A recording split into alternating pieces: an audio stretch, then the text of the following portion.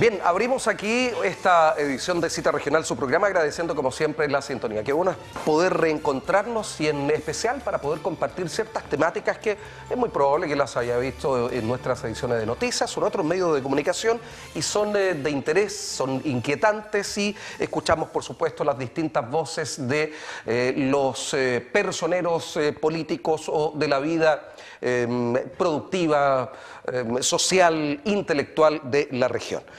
Voy a saludar a quienes hoy día en particular nos acompañan. Camila Flores, diputada de la República. ¿Cómo está, diputada? Muy bien, pues contenta. Después de haber disfrutado anoche de los Backstreet Boys, créanme que nada puede ser malo al día siguiente. Usted fue, usted fue. Pero por supuesto. Muy bien, no podía no estar. De ahí voy a introducir, vamos a ir con la, con la nota, ¿no es cierto?, nuestro departamento de prensa dentro, muy poco, luego que termine de saludar la, mesa, eh, y eh, vamos a plantear eh, las temáticas para poder discutir acá.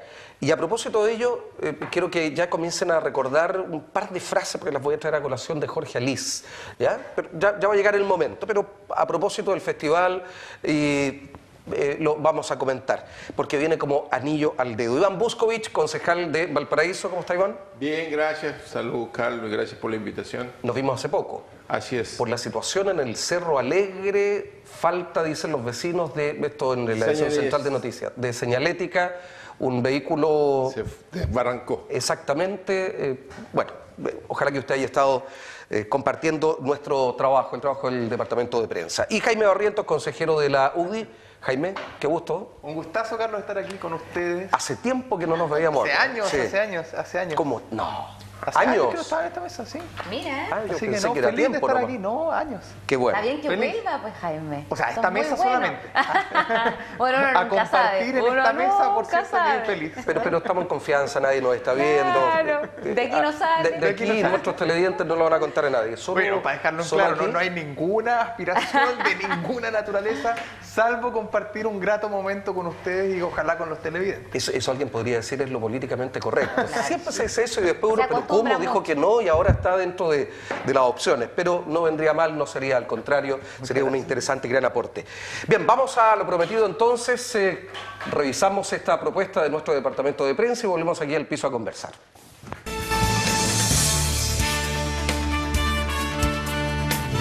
En estado de retirado se encuentra actualmente el plan de prevención y descontaminación atmosférica para las comunas de Concón, Quintero y Puchuncaví en la Contraloría General de la República.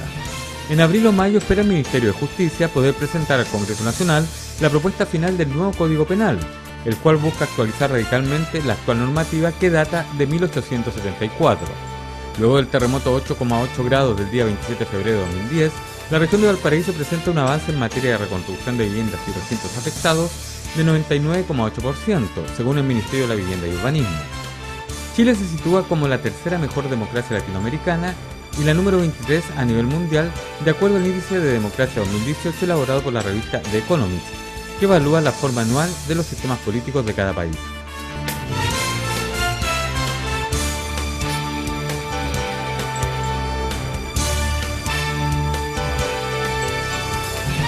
Bien, eh, volvemos eh, tras esa propuesta temática de nuestro departamento de prensa, en la voz de nuestro jefe eh, del departamento de informaciones, Bernardo Belis. Decir que estamos haciendo esta edición del el programa Cita Regional en viernes 1 de marzo. Comenzamos este tercer mes del año 2019. Las vacaciones acabaron, no así el festival, por lo menos hasta el momento en que estamos haciendo esta edición por lo mismo y además contextualizo porque la diputada Camila Flores decía, anoche fui a ver, no vaya a ser que usted el viernes 8 esté todavía viendo esto y diga a qué festival fue la, diputada. Eso Después se repite. Exactamente, vamos a estar con nuestras retransmisiones hasta el viernes 8 de marzo. Después renovamos y seguramente esperamos ya aquí en, gloria y majestad, eh, eh, con toda la, presencia que corresponde al titular de este programa, que es, Rodrigo Oliver. Le enviamos un muy fraternal saludo a Tomás de Reventería, quien estaba convocado para esta mesa de conversación, pero está algo afectado de salud. Sí, un abrazo así que grande a Tomás. Eso es. Se mejore luego. Sí, lo vamos a extrañar. Como siempre. A que lo vamos a extrañar. Yo ya estoy acostumbrada a pelear cada viernes con él. Pero ¿con, quién puede pelear ahora? Es que le colocaron a Iván al lado. Al la- bueno, es- ahí Tienen que al lado. ponen a Tomás. Así que Ah, bueno. No, no, estamos- no lo quiere al frente, no, no, no, no. Podemos mismo. cambiar a Jaime, no. Estamos bien así. está bien. Bueno, vamos entonces a, propósito, incertidumbre en el plan de descontaminación en qué estado está, en el de retirado. Además, eh, la justicia ha señalado en contra de las demandas de la comunidad. Y a propósito, Jorge Alice en una de sus intervenciones, eh, en uno de sus... Hoy eh, está transformado en un referente, Jorge Alice. pero es que de verdad nos ha hecho una radiografía. El único problema es que en Argentina, no todos, ¿sabes? porque hay un par de personajes eh, que quieren eh, quitarle la nacionalidad argentina, pero no, no- un par de personajes que, que no tienen ningún, ningún, eh, ninguna relevancia en el país trasandino. De tolerancia en todos lados. Eso es. Ahora, que nos hizo una radiografía, sí, y no cabe ninguna duda. Y él, entre medio de todo, dijo, bueno, en esta cosa son de broma, a su hijo cuando él no quería que ya lo fuera a dejar al colegio, le dice, te voy a enviar para que te envenenes respirando la escuela de, de, de- de Puchuncaví, de Quintero, Quintero. de Quintero. Y bueno, porque esto, esto afecta a Puchuncaví, Quintero, Concón. Y entonces eh, él, todos ríen, aplauden, y él dice, todo esto para que no se olviden de lo que todavía está ocurriendo en la zona. Y, bueno, a propósito de lo mismo, entonces digo, ¿cuándo, como la canción, cuándo, diputada, podremos ver eh, finalmente humo blanco en esto? Primero señalar, Carlos, que no porque no salga la prensa, en la prensa todos los días quiere decir que al menos nosotros, sus autoridades los ciudadanos, nos hemos olvidado de eh, la zona de Quintero y Puchuncaví. Una cosa muy distinta es la cobertura que le pueden dar los medios y otra muy diferente es la que estemos trabajando las autoridades. Eh, dicho eso, efectivamente, eh, el compromiso que hizo el gobierno eh, fue de ingresar antes de que termine el año 2018 el plan de descontaminación a la Contraloría, situación que cumplió a cabalía. Y lo que ha ocurrido ahora en particular, y por qué dicen, y han salido de hecho en un medio de circulación regional, de que había, se había retirado este plan de descontaminación, es por una cosa procedimental y que se da en cada uno de los instrumentos en los cuales la Contraloría tiene que tomar razón y tiene una importante envergadura desde el punto de vista de las complejidades que tiene que contemplar un plan de descontaminación, a lo menos, que es algo no es fácil de hacer y que tiene que estar muy bien hecho, a diferencia de lo que no se hizo en el gobierno anterior de la expresidenta Bachelet. Y precisamente se hizo observaciones que tienen que ver, y en esto yo quiero ser muy categórica, netamente con la forma y no con el fondo.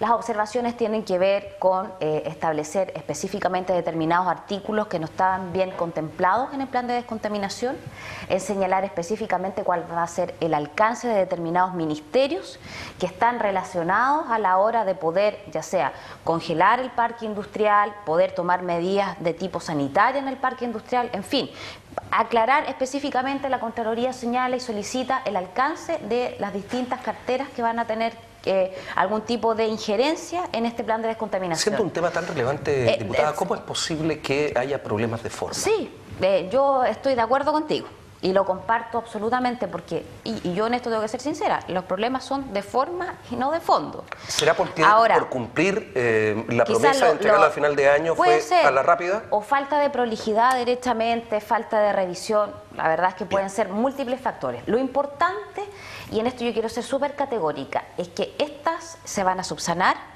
El, hoy, viernes primero, eh, que es el como se está emitiendo, digamos, este programa, se debió haber ingresado ya hasta A la que Contraloría. usted vea en su casa este programa, en la Contraloría, subsanadas estas observaciones y lo importante es que no se va a modificar el plazo o los plazos crono- eh, del cronograma que tiene contemplado el gobierno para que este, ojalá de aquí al 31 de marzo ya esté eh, entrando en vigencia en la zona.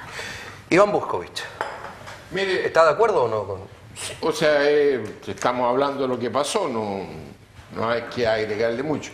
Lo que sí es relevante es que podrán ser muy quisquillosos en la Contraloría, pero un plan que urge, un plan que lo están pidiendo a gritos los vecinos, es impresentable que se te caiga porque cometiste...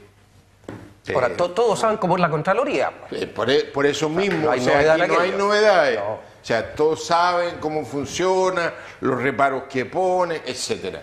Entonces, yo creo que aquí hubo desprolijidad, seguramente se hizo mal determinadas tareas que había que hacer y yo no tengo certeza de que efectivamente solo sean observaciones de forma.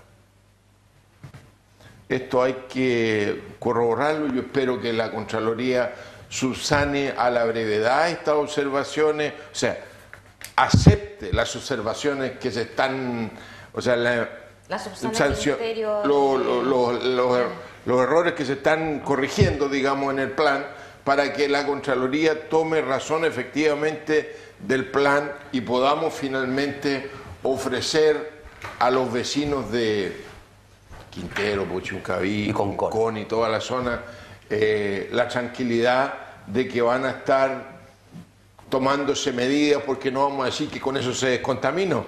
Las medidas forman un largo plazo, va a requerir para poder subsanarse las dificultades que hoy día tiene ese sector, todo ese sector, a propósito del parque industrial que tenemos allí funcionando y que se le está haciendo exigencia a las empresas que tienen que a su vez implementar modificaciones en sus procesos productivos. Entonces, es un proceso largo que los vecinos se lo tienen que bancar. Por tanto, todos estos retrasos le juegan en contra a la gente. Estoy muy claro sobre el punto. Eso, de eso no cabe ninguna duda. Ahora, lo, que hay que considerar y, relevar el hecho es que por primera vez tal vez el tema ha sido tomado con la importancia que reviste. Y es muy probable que unos días más, unos días menos, eh, sean necesarios para que esto opere y funcione en el tiempo de la mejor forma. Jaime Barrientos. Sí, bueno, efectivamente Roma no se hizo en un día, digamos, entonces los problemas de contaminación se quemó de la zona. pero se construyó claro, No, no, se van a, no se van a solucionar desgraciadamente en el corto plazo. Yo creo que al final es ese uno de los mensajes que, aunque sea doloroso, hay que tratar de transmitir, porque alimentar expectativas y creer que porque la Contraloría en los próximos días vaya a tomar razón de este decreto, el, problema, el problema se va a haber solucionado, eso, eso es falso, digamos. Entonces, yo creo que al final lo importante es que se está avanzando, ojalá que y me consta el trabajo que muchas autoridades efectivamente han hecho, me consta desde el punto de vista profesional, porque he tenido algún vínculo con el, con el tema, eh, que hay un trabajo en el que están efectivamente tratando de hacerse cargo de un problema que no es ni de este gobierno ni del anterior, sino que es un problema finalmente del Estado de Chile. Y yo te diría que aquí hay, un, hay algo que, a lo que yo sigo echándole de menos, viéndolo bien de afuera, y es que uno revisa la institucionalidad jurídica, ambiental de nuestro país y por desgracia hay que constatar que la Ley General de Bases del Medio Ambiente está bastante atrás eh, si uno lo compara con, con los eh, ordenamientos jurídicos más modernos. Entonces, al final, ojalá que esto sirva para poner en relieve que Chile necesita una modernización de esos principios, digamos. Eh, es tan difícil porque las, autoridades, con toda razón, se ven inmersas, sobre todo en periodos de gobierno tan cortos, de cuatro años, en el día a día, y cuesta poner la mirada en el corto plazo. Ojalá, ojalá esto sirva para, para poder perfeccionar. Por eso que tiene que ser una visión no de gobierno, sino que de Estado. De Estado, así es. Oye, y en los pocos granitos que me quedan... vamos a regalarle unos segundos. En, los pocos granitos que me quedan, fíjate que Jorge Alice me hizo reír hasta un determinado momento. ¿Cuándo? De ahí en adelante te confieso que mi actitud hacia él cambió. A ver. Y con una frase, una frase, dijo, eh, ojalá que no sigan eligiendo a personas como Donald Trump y el señor Bolsonaro en Brasil. y yo me pregunto, pero por, o sea, ¿por qué? ¿Con qué autoridad? O sea, más allá de que uno pueda compartir o no eh, ese voto o la, o la posición que tenga el señor Trump o el señor Bolsonaro, ¿por qué alguien se, se irroga la facultad, la atribución de cuestionar a todo el pueblo norteamericano, de cuestionar a todo el pueblo brasileño, que democráticamente eligió a esas personas como sus presidentes. A mí eso te digo me, molestó y de ahí para adelante me costó reír. Bueno, no solo ha habido críticas tal vez respecto a Liz, sino que incluso los mismos animadores o la editorial del festival, porque comienzan con, a propósito de una elección democrática o como podamos llamarla en Venezuela, aquí hemos hablado acerca de tomar parte o no y con eso llamar, eh, lamentablemente, o colocar acentos en uno o en otro lado. Lo que pasa, Carlos, es que es distinto porque tal vez Tomás no va a compartir, o sea, eh, tal vez Iván no va a compartir mi mi planteamiento, pero... ¿Por qué? ¿Porque es comunista? no, porque tal vez el de Venezuela tiene una impresión distinta a la mía y es legítima, digamos, pero, pero gran parte del mundo ah, concluye que en Venezuela hoy día no hay un régimen democrático, digamos. ¿ah?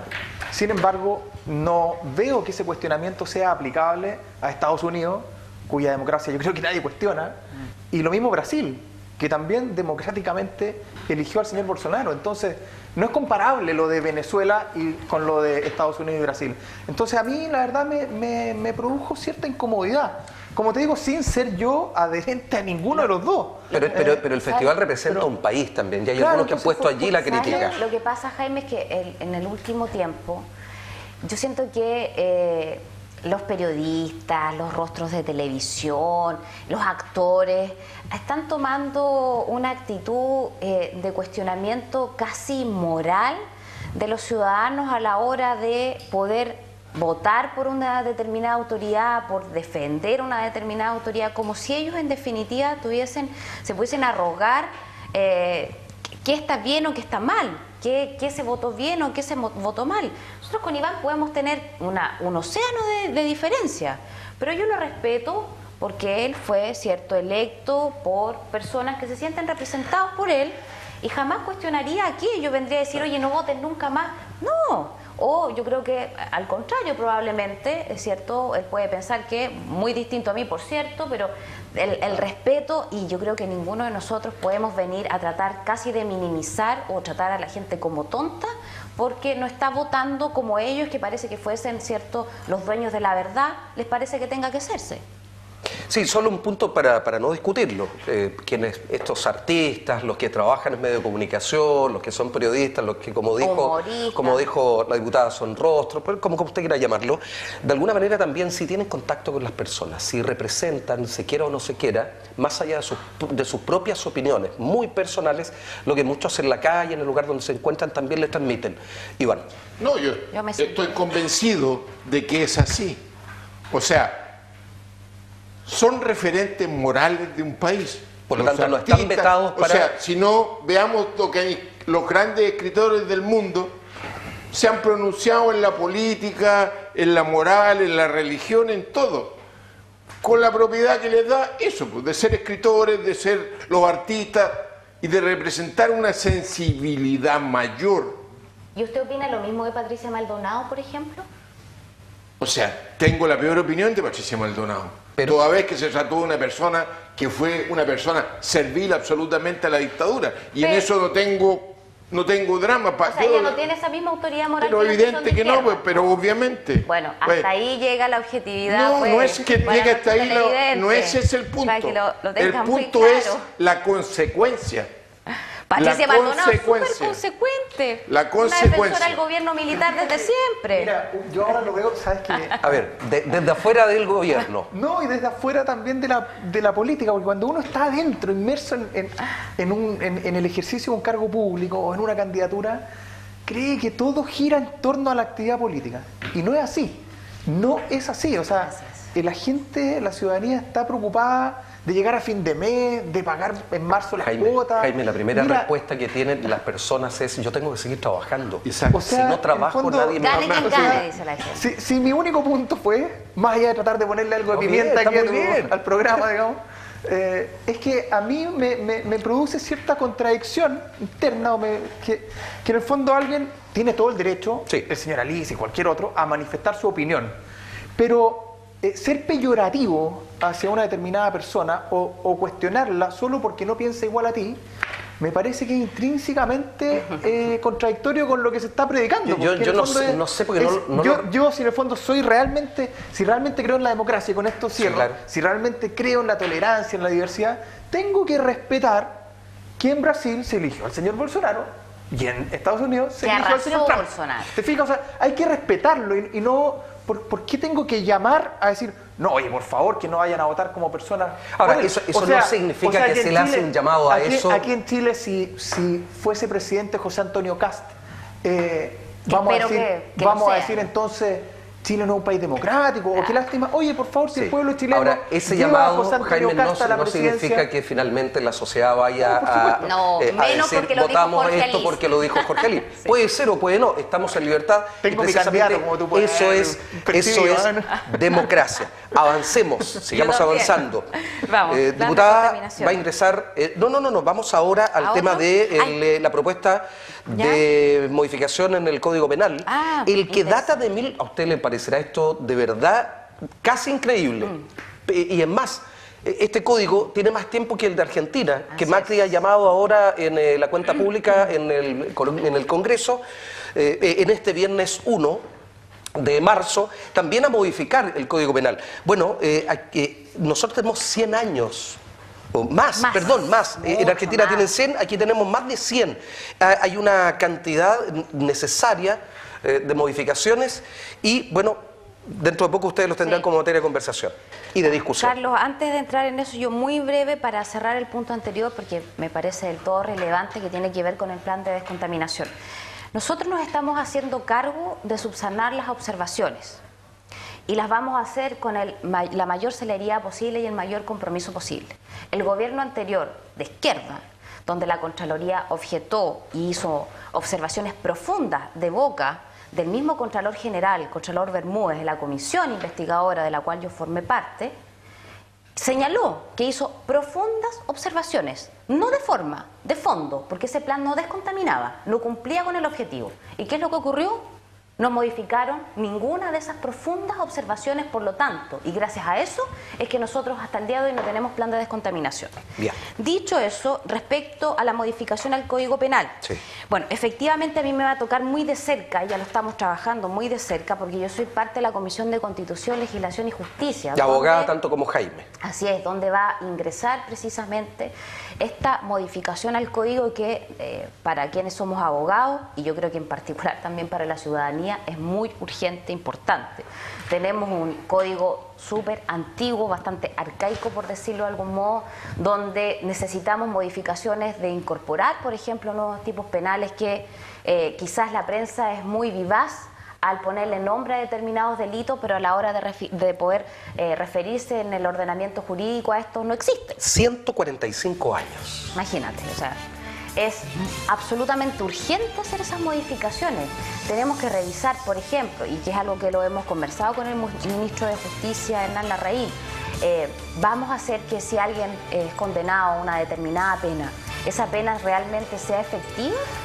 Hay casos que conviene o no conviene estudiar, por ejemplo, que puedan acceder a eh, beneficios carcelarios como la libertad condicional, o dejamos que una persona, por ejemplo, que es condenada a cinco años, cumpla los cinco años y no tenga acceso a estos beneficios para determinados delitos. ¿Vale la pena respecto de algunos delitos que quizás son de menor eh, connotación que necesariamente vayan a la cárcel? ¿Puede que exista una pena accesoria distinta al cumplimiento de una pena, de una condena?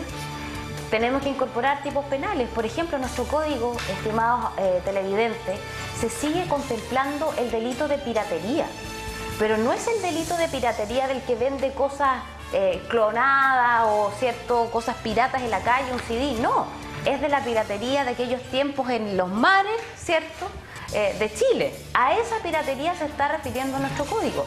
Por lo tanto, es urgente poder modernizarlo y sobre todo incorporar nuevas figuras penales que tienen que ver precisamente con delitos de carácter cibernético, que tienen que ver con el ciberbullying, con el grooming y con situaciones tan graves como este el caso Nido, por ejemplo, Sí. donde hay páginas de internet donde enfermos, desquiciados, eh, Tengo que ir a la pausa. Sí, amenazan con violar, con asesinar a niñas y a jóvenes en nuestro país. Gracias, Camila. Luego vamos a ir con Jaime Barrientos e Iván Buscovich a propósito de este tema. Y voy a seguir con Alice. Alice dijo, se levantaron después, como siempre pasa, de las tragedias en este país. 27 de febrero, eh, para algunos pasó así como, como poco, como nada, pero en realidad creo que ha quedado en la historia de nuestro país.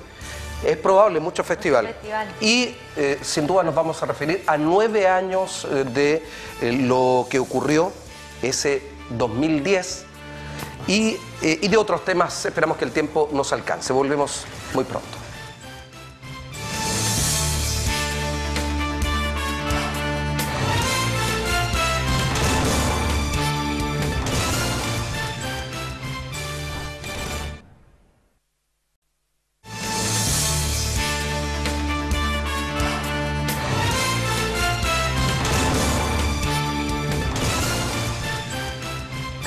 Bien, volvemos a cita regional con eh, Camila Flores, diputada de la República, Iván Buscovich, eh, concejal de Valparaíso por el Partido Comunista, y Jaime Barriento, consejero de la UDI.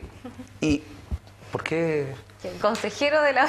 ¿Sí ¿Está, está bien o no? Sí, está bien. Está bien. ¿Algo más? Por ahora no. Ah, no, pero ya lo he dicho. entre- Es que tal vez tengo una intencionalidad que yo diga consejero del audio, ¿no? De, de verdad, ni una, ni, ni una intencionalidad de nada. No, no, Está yo, yendo yo. muy bien en lo privado para meterte la Qué política bueno. de nuevo. Ahora, siempre- a- alguien ayer me decía, quiero ingresar a la política para poder hacer cambios. Y claro, yo le decía, eh, ¿será el mejor espacio para hacer cambios en la sociedad? Sí. Eso es lo que me han dicho, pero también se puede hacer de afuera. ONGs, fundaciones, Siempre. etcétera. Sí, hay, hay otras vías y otros, otros espacios. Eh, Iván Buscovich, a propósito de que en abril o mayo entonces se espera eh, que el Ministerio de Justicia pueda presentar en el Congreso la propuesta final al eh, Código Penal que data de 145 años. Sorprendente. Yo de verdad espero que esto lo hagamos y relativamente rápido, toda vez que el procedimiento penal es todavía extraordinariamente lento. Y eh, lento digo para los intereses de sobre todo de las víctimas, de las personas que se ven afectadas por los delitos de las distintas naturalezas. Perdón, perdón, eh, en este código está todavía incluido esto y se va a cambiar si fuera así esto de robar una gallina. Todas eh, esas tan- cosas. ¿Eso se va a cambiar? Eso es. Sí, Ah, ya. Eso es lo que tiene que cambiarse. Por favor, ya. Eh, y en ese sentido, yo creo y espero que avancemos en las penas que dicen relación con los delitos de cuello y corbata, que hoy día pasan piola, que tienen penas muy bajas. Acabamos, estamos escuchando la noticia a propósito de esto de la colusión de los pollos eh, y las colusiones que hemos visto lo que les pasó a la gente esta de la leche alterada, etcétera. Y que no les sale, pero, o sea, les sale muy barato cometer tropelías en contra de los intereses de la mayoría de la población, habitualmente siempre los más pobres, y eh, no les pasa nada. Los atenuantes, que la irreprochable conducta anterior y esto y lo otro, y zafan rápido. Yo creo que ojalá estas cosas de alguna manera podamos de verdad ponerle atención y podamos defender ese interés superior de las víctimas y que puedan de alguna manera resarcirse. Sí, además, que, además que las, per- Incluso- además que las incluso hay- personas digan que la justicia opera. Exacto, la sensación de que la... Pero además está el hecho de que en muchos de los casos se trata de multas que son a beneficio fiscal y que las personas que son las que han sufrido el daño No ven no ven ni uno. Y de lo que se trata justamente es, yo creo, de resarcir a aquellas personas que han sido víctimas de este tipo de delitos. Pero con el papel tisú sí vimos algo, pues. ¿Ah? Con, el, Ah. con la colusión Papel del papel tisú. Dígale. Que, que es un marca, Más que es un marca, conocido. higiénico. higiénico. ¿Ah? ¿Te llegaron las 7 lucas? Sí, Sí, creo que sí, creo que sí. ¿Cómo creo Desde que sí? desaparecieron tan rápidamente que eran tampoco. no- Bueno, pero- Se lo cobró en comisión el banco. No, Eh, no bueno. Eso porque no trabajo en el Banco del Estado. ¿Quién yo? Sí. Ah, ¿Por qué? ¿Usted sí? Eh, sí, pues con el Banco del Estado. Ahí no había, Ah. ahí no había comisión a los titulares de cuenta corriente. No, no, sí, no, sí estoy. el- el- el- Oye, recuerde usted ¿sabes que, que yo creo que el problema es tiene mucho más de 300 fondo? pesos un giro además en el. Sí. Sí. Por cajero. Sí.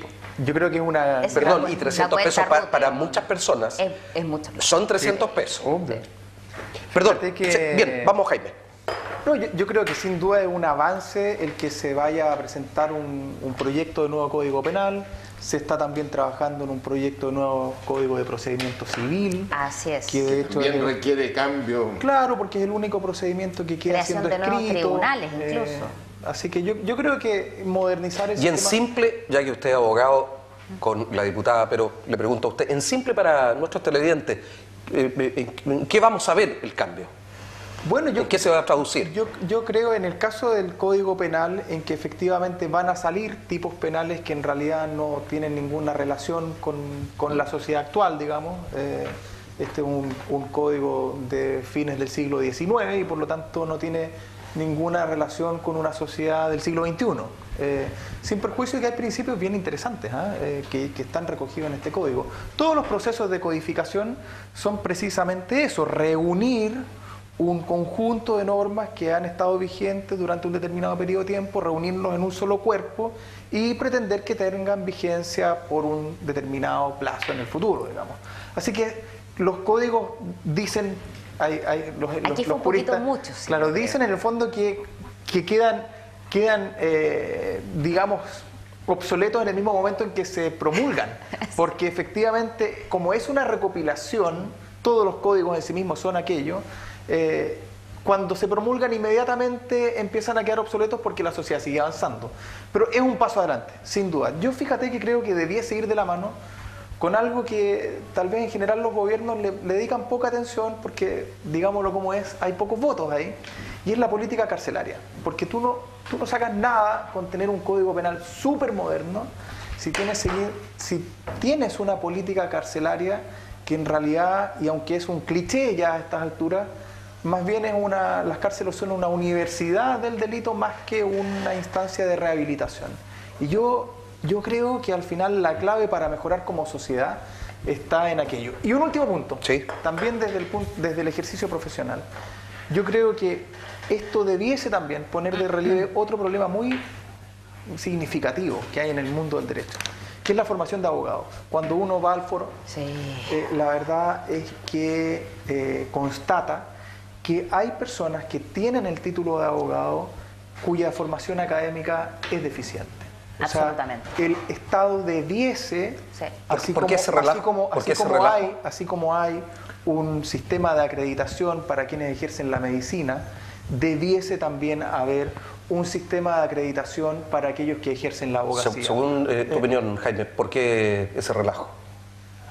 La, verdad es que es duro lo que voy a decir, pero creo que es compartido por por muchos otros colegas, hay escuelas de derecho que tienen una formación académica débil, deficiente, y esas personas después representan los intereses de personas, digamos, en las que está en juego la libertad, el patrimonio. Ahí hay un desafío pendiente. Le voy a pedir a nuestro director que me haga un amplio con, con Jaime, por favor, si es que es posible, o ahí en la cámara.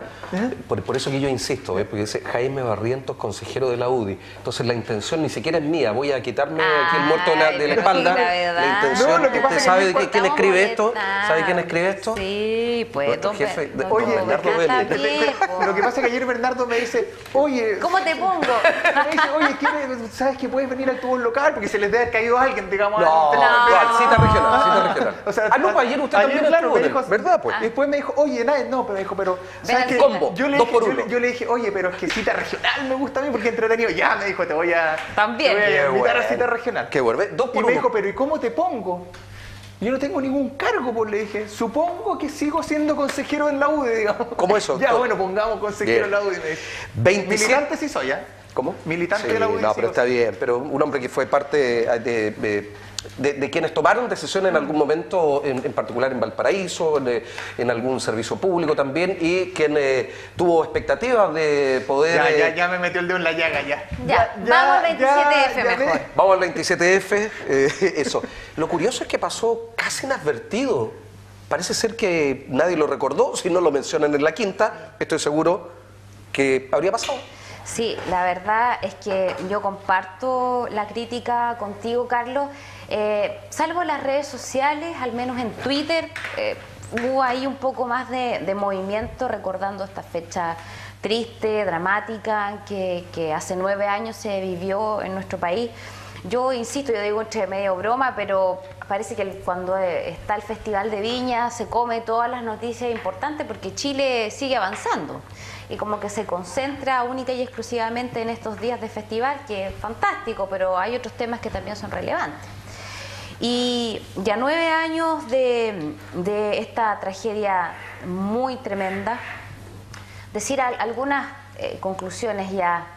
Primero, que claramente eh, donde murieron un número importante de compatriotas, yo en ningún caso quisiera señalar que el gobierno de la época eh, pudiese haber tenido alguna intencionalidad, por supuesto, en que estas personas fallezcan, pero claramente la ineptitud, la ineficiencia, la falta de, un accionar, digamos, precavido, eh, de, en definitiva, una inexperiencia absoluta en las catástrofes que en nuestro país vive muchas a la expresidenta Bachelet le tocó esta situación, después el presidente Piñera le tocó el tema de los mineros, por ejemplo. O sea, nuestro país es un país que está viviendo permanentemente situaciones tremendas.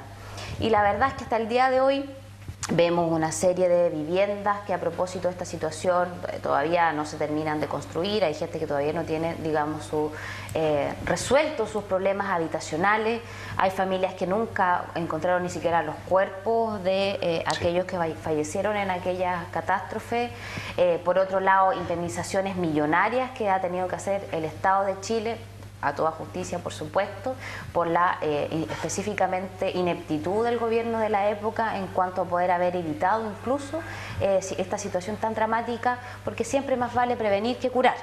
Y eso yo creo que fue lo que faltó en gran parte y el profesionalismo, por supuesto, de, de las autoridades de la época. Iván. Yo encuentro que tratar de pasarle la cuenta a la Bachelet, como exagerar la nota, eh, yo no se los recomiendo además porque cada vez que la, tratan de criticar aparece más arriba en la encuesta y ella lo que quiere hacer es retirarse de la política en Chile. Entonces, ¿De verdad cree usted eso? Sí, sí el único problema sería me, nuestro. Me temo, me temo que... Que no es así. Que puede no ser así, que la justamente... de nuevo, oiga. Eh, puede ser. Sería terrible. si liderazgo no tiene, El problema es que en la medida que la vuelvan a poner en la palestra, vuelvan a plantearlo, súbenle como la espuma. Entonces, ¿A usted le gustaría que volviera? A mí no. A mí no. Francamente creo que tenemos que tener renovación y debiéramos avanzar en ese sentido. No, no, en eso no tengo. Qué bueno, Iván. 27F. Yo, lo del 27F, a mí lo que me sorprende eh, efectivamente es que a nueve años todavía tengamos gente que tenga el papelito, pero que no tenga casa. Oye, Iván, perdón un paréntesis, ahí en Valparaíso, tu comuna, la que fue también la mía por cuatro años, en el Consejo, fíjate que no sé cómo están, yo creo que hay una situación parecida con los incendios. y que siguen habiendo puros Sí, pero, pero perdón, perdón, perdón, digamos, algo, digamos algo en justicia.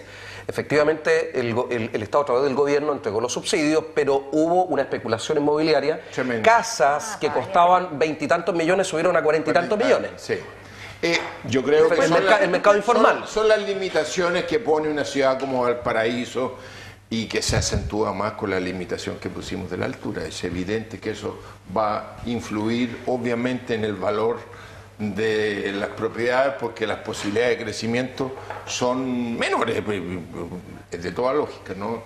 Entonces tenemos una complicación mayor, eh, incluso más nosotros como municipio estamos auspiciando un proyecto que llama Nuevo Amanecer, que ha tenido muchos tropiezos administrativos, estamos hablando del orden de soluciones para 60 familias en la parte alta de Playa Ancha, eh, y se demora la tramitación, no son competentes las personas que están haciendo la P, o sea, es una suma de cosas que hace que las cosas sean más difíciles. Algo, algo quería decir Jaime Barrientos, se contuvo y ahora está en su tiempo. No, no, no. ¿Qué era?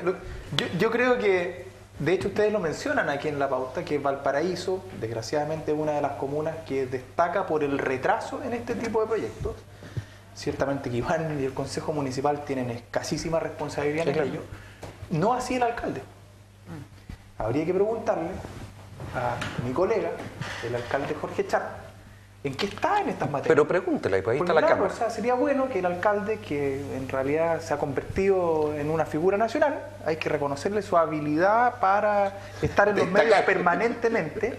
Eh, pero por desgracia, yo cada vez que eh, recorro la ciudad, la comuna de Valparaíso, constato que en lugar de estar mejor, te diría que está bastante peor. El otro día fui con unos clientes al centro de Valparaíso y el comentario fue, oye, es que el, perdónenme lo que voy a decir, digamos, pero es que hiede, O sea, uno sale del estacionamiento Es y el comillas aroma, oye, es Impresentable. algo impresentable para una ciudad Es como Valparaíso. O sea, y yo le pregunto al alcalde qué está haciendo en esto. Y en esta materia, lo que más le importa a la gente, ¿qué es lo que es? Trabajo, tener su ciudad decente, limpia, ordenada, tener una vivienda. Bueno, y el alcalde en esto brilla por su ausencia. Pero eso significa falta de presentación de proyectos, Eso significa... involucrarse en, aquello. que ¿Qué la, significa? Que la gestión que dirige el alcalde Jorge Sharp en estas materias es deficiente, está con nota roja. Así es. Entonces, ojalá que se ponga las pilas, ¿ah? porque al final no solamente hay que aparecer en los medios, sino que también hay que ponerse a trabajar en lo que importa. Y yo, desde afuera, veo poco trabajo. Ahora, para ser justos también, es verdad que, lo- que- el, eh, el gobierno comunal, más que un gobierno, es una administración comunal. Aquí hay un problema cultural, sí. Eh, y esto no es a favor ni de Charp ni del municipio. Digo claramente que si uno compara donde recorre, ¿no es verdad? Hay un problema cultural. Todavía se sigue pensando que en Valparaíso uno puede hacer lo que quiera. Todavía. Así es. Parece que no amamos la ciudad y menos los que vienen desde afuera. Em, Oye, perdón, perdón, Sí. pero, a ver, dale, dale. Jaime nos está debiendo mucho tiempo. De- Ya, de- se, se lo vamos, Granito, a, contar, se lo vamos a contar para la Pero próxima. otro- otra materia importantísima para los porteños, el comercio ambulante. No, ah, está sí, pues, Dime, es tremenda. ¿eso no es facultad del alcalde tratar al menos de Sí, completamente. Sí. Completamente. El alcalde Ya. está más preocupado de ser candidato presidencial que de ser alcalde. Parece. Ahora, vemos en Viña incluso que con todas las medidas eh, que eh, se han eh, elaborado, aún así el comercio ambulante sigue siendo un dolor de cabeza. Eh, ¿O no? Sí. Sí, claro. Bien. No, no al punto de Valparaíso, pero claro que sí. Estamos, estamos eh, claros que, que- que así es, eh, diputada. Chile se ubica como la tercera mejor democracia en Latinoamérica y en el mundo está ocupando el lugar número 23. El único ¿Quién la encabezan aquí en Latinoamérica? Perdón. Ah, Uruguay y aquí, Costa Rica. Uruguay y? Costa Rica, lo que hay que decir, eso sí, es que en términos de participación por los votantes, estamos ahí con el 4,44. Esa es la nota, de 1 a 10. Diputada, Bueno, efectivamente, si uno revisa y hace un análisis, especialmente en los países de, de nuestra región, digamos, sin ir más lejos, efectivamente, si nos pretendemos comparar, no sé, con Venezuela, con Cuba, con Nicaragua y otros sistemas donde la democracia efectivamente no existe, eh, efectivamente yo creo que nosotros estamos en un muy buen pie. antes estábamos Yo peor, creo- ¿eh? Sí, claro. Yo creo que es un sistema que la, la democracia es un sistema que si bien tiene sus debilidades, que no es un sistema perfecto, efectivamente es el sistema mejor, ¿cierto? Eh, donde los ciudadanos, ¿cierto?, de determinados países pueden dar a demostrar, dar a conocer, participar eh, en la toma de decisiones, en la elección de sus autoridades. Pero donde yo veo una deficiencia, que es precisamente, Carlos, en lo que tú esbozabas, en que desgraciadamente en nuestro país, si bien el sistema democrático, institucional, es un sistema robusto, donde eh, gracias a Dios no tenemos niveles de corrupción como puede existir en otros países, eh, donde definitivamente la corrupción se ha tomado determinadas naciones, Sí tenemos deficiencias, como por ejemplo la baja participación de los ciudadanos, donde nosotros vemos un fenómeno que en cada elección, ya sea municipal, presidencial, parlamentaria, tenemos menos participación. O sea, está bien, tenemos un sistema... Pero en el mismo Congreso cambiaron las condiciones, pues. Y algunos después querían arrepentirse. Y si tú me preguntas a mí, yo creo que fue un error. Sin duda. Yo siempre lo manifesté, aun cuando lo hizo mi gobierno, el primer gobierno del presidente Piñera, este, llamar al voto voluntario. Yo creo que eso fue un error. Yo soy una convencida de que si bien los ciudadanos tenemos derechos, también tenemos deberes y obligaciones. No tenemos tal eh, Y formación cívica. nosotros. desgraciadamente el voto voluntario fue un error y lo que debiésemos hacer a lo menos es pensar en volver al voto obligatorio, por Iván, ejemplo. Iván, Yo, eh, respecto de este último tema, yo Cuba está dentro de la... No, eso no es porque usted sea Eh, comunista, no, no, pero respecto está de dentro de las este peores, asunto, ¿ah? Respecto a este asunto, yo mm, quiero decirle que mm, yo creo que el voto voluntario fue un avance. Es un avance porque es la voluntad de las personas. Ahora, el problema es de los políticos Que no conquistan a nadie. y que no, y que digo, nosotros todos, la oferta que damos no le empatiza finalmente y tal como dice la diputada, cada vez está votando menos gente. Y aquí está el problema. Y aquí está el problema, que Sí, pues, cada sí, vez... El problema es la representatividad. Entonces, lo que queremos es decirle, te tienes que ir porque tienes que ir. Perdón, perdón, aquí hay concejales con mil, dos mil votos, Sí. eh, No, otros que son arrastrados, arrastrados. con mil, dos mil votos. votos. Claro, Bueno. así es, y no Sí. poco. Hay un problema. Sí, po. y el problema es la participación. Y la participación tiene que ver también con la oferta. Si usted lo que se ofrece, lo que ofrece y la gente no, quiere decir que hay algo que está mal desde el punto de vista de lo que se está proponiendo como alternativa. Porque ¿por qué la gente no va a votar? Porque se dan todas las facilidades del caso, no es que haya hacer en días laborales, que le va a tocar un, cargo mayor, se trata que además se vote cerca, ahora se está pensando en esto del voto electrónico por facilitar las cosas, o sea, se dan las facilidades, la gente no participa. Se me está yendo el tiempo. Yo ahí creo que tenemos un problema que tiene que ver con lo que estamos ofertándole a la gente como alternativa. Eh, voy, voy a extrapolar, eh, voy a hacer una comparación, puede ser muy torpe, pero en tecnología Bluetooth, por ejemplo, hoy día se habla de sobre 4.0. ¿En política aún estamos en 2.0? Yo creo que 1.0. No, me digas. No, y- ¿Sabes cuál es el problema? Fíjate, mira lo que va a ocurrir. Yo tiendo a compartir la opinión de Iván. En el sentido de que a mí me parece que en un sistema democrático el voto sea voluntario. ¿Sabes cuál es el problema, creo yo? Que en la medida en que más complejo es el sistema, las, las personas, la ciudadanía más se aleja. Mira lo que nos ocurre a nosotros. Tenemos elección de presidente, tenemos elección de senadores, de diputados, De consejero regional. de consejero regional, ahora de gobernador regional. pero todavía Pero no se gobernador sabe va con las cuándo. municipales. nadie Todavía sabe no qué se sabe va a cuándo, hacer. ni cuándo. Pero iría con las municipales, Que va con el- la elección de alcalde de y concejales concejales. y gobernadores. O sea, mira, siete. Y, y nadie sabe bien qué hacen.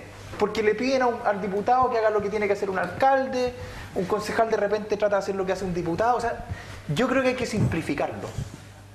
Yo creo que es el gran desafío que tiene el sistema. Por eso debiéramos terminar con las dos cámaras y tener una sola. Oye, y también lo que estábamos conversando 50, nos ahorramos 50 No senadores. puede ser que existan parlamentarios con el 1% de los votos Exacto. en la Cámara. O sea, eso, eso no puede ser. Y ta- también el tema de la, Eso- de la reelección. Eso hay que corregir, eso tiene hay que que haber corregirlo y es topes urgente también. porque la, Tiene que la ver con el base de, desarrollo de un sistema democrático representativo es precisamente eso, pues, que Pero- haya representación y no Pero hoy día si no la a hay, eso en algunos casos. no le acompañamos que a los colegios vuelva la educación cívica, Tienes toda la razón. créeme que por más leyes que hagamos, por más modificaciones, no va a funcionar.